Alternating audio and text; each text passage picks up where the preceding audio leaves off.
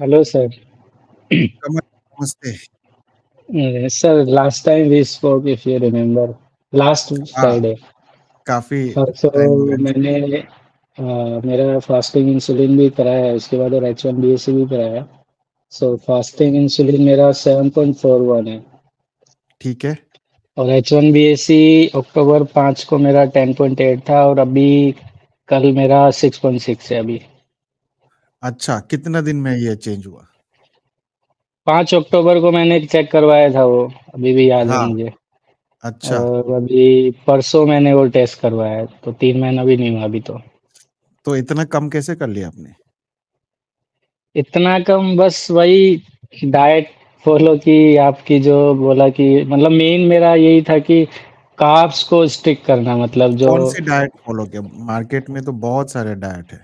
नहीं मतलब ऐसा कुछ नहीं है कि ये नहीं खाना है वो नहीं खाना है। खाना सब कुछ है मॉडरेशन में खाना। कौन सी डाइट फॉलो किया? वही तो पूछ रहा हूँ। डायफिट वाला जो आपका जो वीडियो जो होता था तो सारा मतलब तो किसमें डाइट डाइट को ही फॉलो किया है ना? हाँ हाँ हाँ जो कौन फिर सा से बता दीजिए जो भी आपको सुन रहे हैं आपका एच बी वन सी तीन महीने पहले कितना था और आप कितना मतलब अक्टूबर पाँच को मेरा था टेन पॉइंट एट और अभी मेरा दो दिन पहले है सिक्स पॉइंट सिक्स ठीक है बहुत अच्छा और कर मेरा रहे हैं जो आ, वो होता है एवरेज ग्लूकोज आता है जो उसमें ब्लड शुगर आता है वो वन फोर्टी थ्री था। ठीक है बहुत अच्छा कर रहे हैं। डायफिट डाइट को फॉलो करते रहिए ठीक है? अभी भी सर मुझे है हाँ हाँ अभी भी है बट मुझे ये जानना था कि अभी काफ़ी दिनों से मैं ट्रैक कर रहा हूँ मेरा फास्टिंग शुगर भी वो हंड्रेड के आसपास ही आता है। तो अभी अचानक से दो तीन दिन पहले वो वन फोर्टी वन थर्टी ऐसे आ रहे हैं मतलब।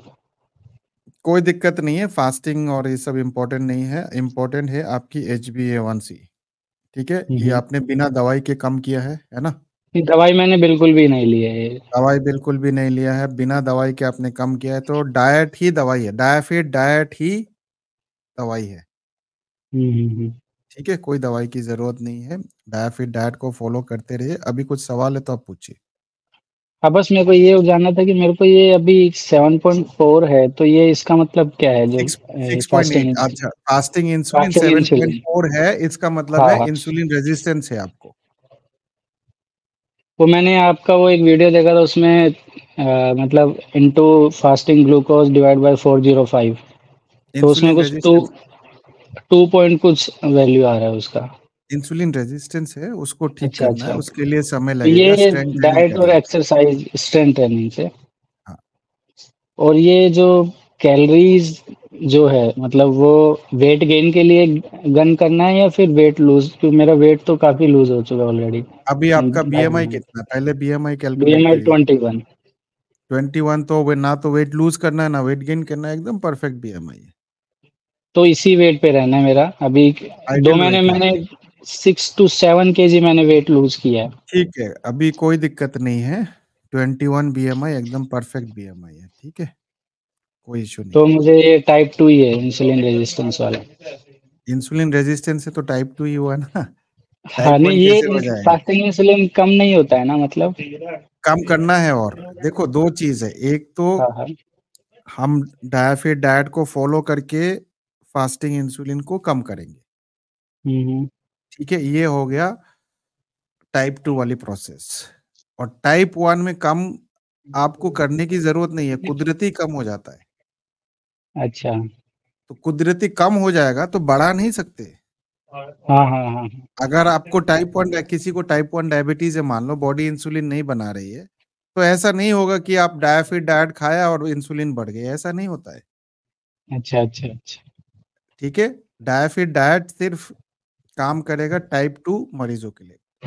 क्योंकि तो क्या टाइप वन के मरीज़ तो क्या टाइप वन के मरीज़ डायफिट डाइट नहीं फॉलो करना चाहिए? बिल्कुल करना चाहिए। करना चाहिए। करेंगे तो क्या होगा? करेंगे तो अगर वो तो इंसुलिन कम हो जाएगा अगर बीस यूनिट ले रहे हैं तो 10 यूनिट पे आ जाएगा। बंद नहीं होगा।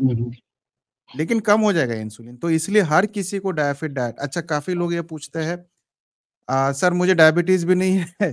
प्री डायबिटीज़ भी नहीं है क्या मैं डायफिट डाइट फॉलो कर सकता हूँ आप बताइए कर सकते हैं वो हेल्दी पर्सन भी कर सकता है कर सकते नहीं और करना करना चाहिए चाहिए करना चाहिए सबको क्यों फॉलो करना करना चाहिए चाहिए क्यों करना चाहिए अगर हेल्दी हो तो ताकि फ्यूचर में कोई चांस भी नहीं हो कि बिल्कुल। मुझे डायबिटीज़ आपको ना हो डायबिटीज़ अगर होगा ही क्योंकि नहीं। जो लाइफ़स्टाइल है, उसमें हर किसी को डायबिटीज़ होने का चांस है।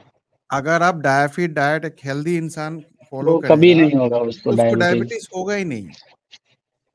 हाँ, है? मुझे जैसे जिससे मैंने टेस्ट हाँ, मैंने जिससे टेस्ट करवाया था लैब में जाके मतलब सैंपल कलेक्ट करके, ही सेइंग कि आपको सी पेप्टाइड और कुछ गैड करके कुछ टेस्ट और आता है, वो भी करवाना चाहिए। और पैसे मत बर्बाद करो।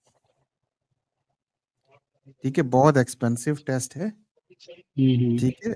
इससे ज़्यादा और टेस्ट की ज़रूरत नहीं आपके लिए नहीं है ज़रूरी।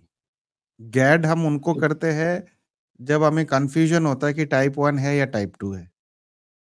ओके, मुझे आइडिया नहीं था बस गैड बोला। ठीक है? जब हम डायग्नोसिस पे नहीं पहुँच पाते हैं तब हम करते हैं। ठीक है? चलो बहुत बढ़िया, कोई दिक्कत नहीं है, ऑल। द बेस्ट थोड़ा और। मेहनत करो एच बी वन सी और कम आ जाएगा, ठीक है? Sure, thank you. Okay. Okay, all the best, bye. Okay, Siyaram ji क्या कह रहे हैं? सर आपका वीडियो देखकर एचबी1सी 7.6 से 6.5 है, सिक्स पॉइंट फाइव है एवरेज 140 बिना मेडिसिन। बहुत-बहुत मुबारक हो। जो भी डायफिट डाइट को फ़ॉलो करेगा, कुछ ना कुछ बेनिफिट तो ज़रूर मिलेगा।